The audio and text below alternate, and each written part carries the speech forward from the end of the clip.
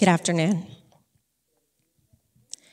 When I was a little girl, my mom used to correct my sentences mid speech. She couldn't help it. She was an English teacher. From an early age, she taught me that words have power, that words matter, and that they have influence in our lives. Years later, this was affirmed by my own personal work as a teacher, as an author, and as a parent. Today, I'm going to reintroduce you to a word that I've struggled with most of my life the word, the concept, enough. See, I am a recovering perfectionist. Some of you in the audience also know me as a little bit of a control freak.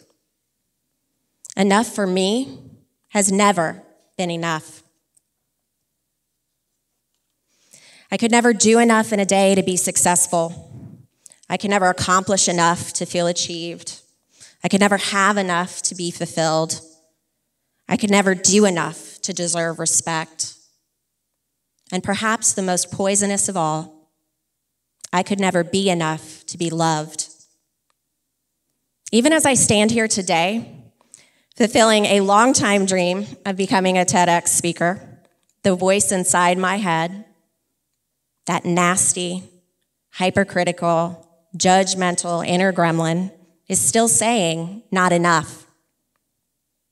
It plays like a song on repeat. Not enough. Not enough.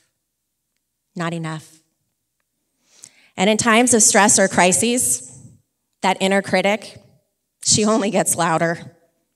You're not enough. You don't have enough. You'll never be enough. That's enough. I'm inviting you on a journey with me today to reframe this word,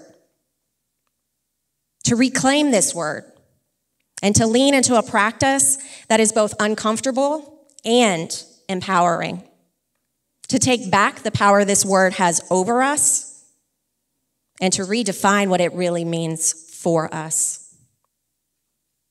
To do that, I'm going to share the thought work of three experts with you, because after all, they say good things come in threes, right? I first met Jon Acuff right here in Tampa Bay. He was keynote speaking, um, and I was impressed with the way that he held a room. I was impressed with the fact that he used humor to get his point across. I was impressed with the fact that he knew how to use technology to integrate his crowd. But more importantly, every time I've seen him then and since, he encouraged everyone in his audience to lean into and examine our own relationship and perspectives about leadership. His latest book is aptly named Soundtracks, and it's about the ways that we overthink everything, about the stories that we tell ourselves on rotation, regardless of the truth or the data that supports it. In fact, he calls those negative soundtracks broken ones. And he reminds us that those broken soundtracks, they're not going to evolve into something else, not on their own. It's up to us to change them. But to do that, we first have to acknowledge what they actually are. We have to be willing to lean in and listen to the negative, awful things when been saving to and about ourselves. I'm going to ask you all to do something that I never do. I'm going to ask you all to should all over yourself. I want you to find the notebook and pen, and I want you to write down as many statements that begin with the phrase, I should be.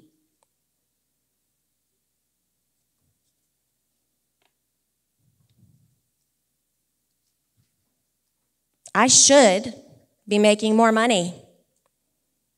I should be further along in my career by now. I should be a more patient parent. I should be able to handle a pandemic. I want you to hold on to those should statements. We're going to revisit them in just a moment. The second expert I'd like to introduce you to is Dr. Judith Orloff.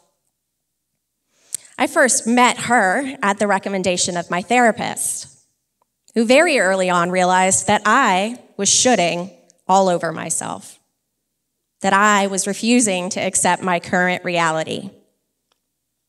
See, Dr. Orloff talks about the power of surrender, stating that there is no real peace, happiness, or joy without it. I've got to be honest, when I first heard that, this was my first thought.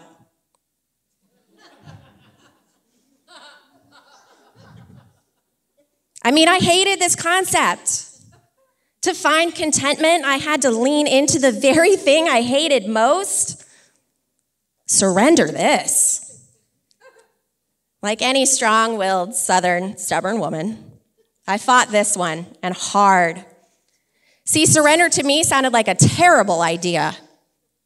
It sounded like defeat. It sounded like failure. And that inner gremlin, man, she quickly swooped in and said, I was terrible.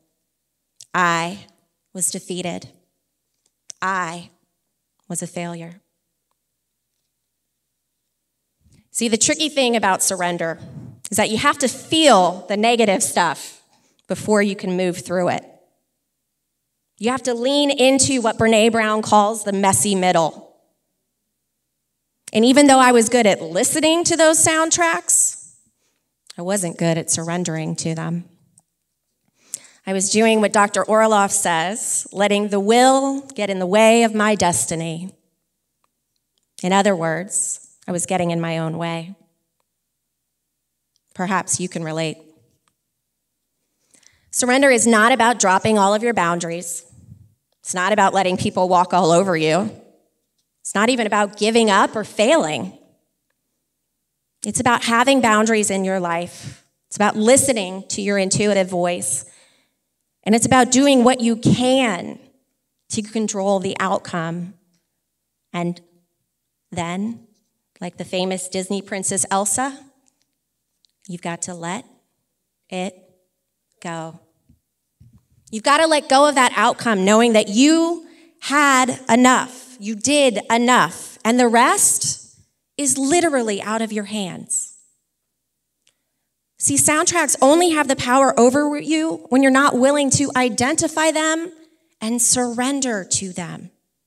And I've learned the hard way over time that through surrender, you may not always get what you expect or even what you want, but you will always get what you need. The third expert I'd like to introduce you to is Gary Zukav. Some of you may have read his book, The Seat of the Soul, that talks about creating a more meaningful life coming from an alignment of your values, your actions, your words, and your intentions.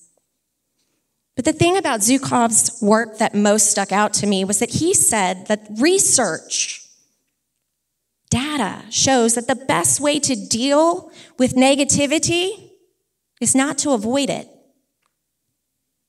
but to observe it without judgment and without reaction.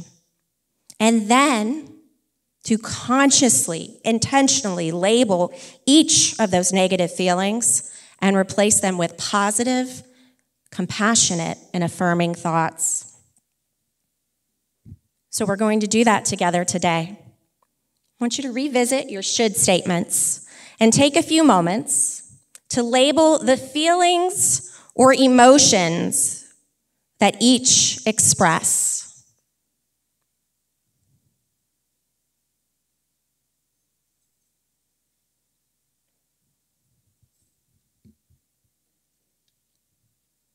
How many of you, by a show of hands, wrote the words anger, love, or sadness? How many of you wrote other words by a show of hands? Congratulations. Regardless of what you wrote and regardless of what you felt, according to Zukav, you're a multidimensional human being. You've also just begun what Zukav says is the most difficult thing that most humans will ever do. That is accepting your experiences and owning your emotions. So, of that list, I want you to choose just one.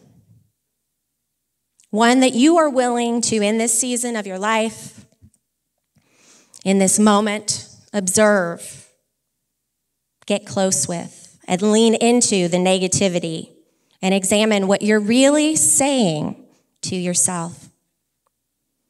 I want you to set up an intention to change that soundtrack to something that is both kind and compassionate to you.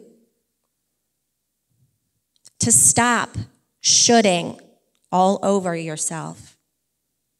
To surrender to enough. Now let's be real. Maybe you're not ready for surrender.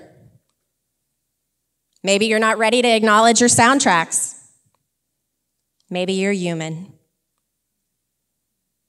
You see, this work also takes a readiness to receive.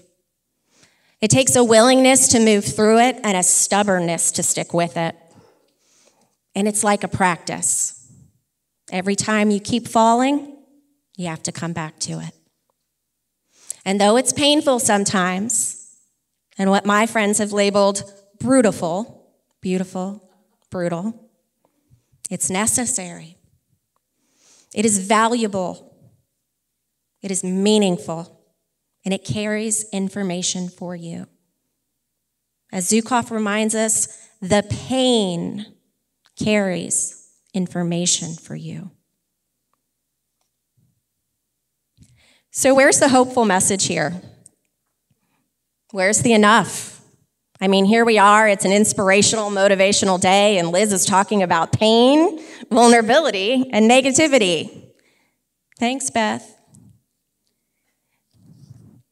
The enough, the hope, is you. The enough is the work that you choose to put in. The enough is the definition that you decide and the journey that you define. Because we as human beings, we have the power to know when enough is enough. We as women have enough within us to redefine enough. And we as leaders are going to change our soundtracks starting today because we are enough. I am enough. And that's enough. Thank you.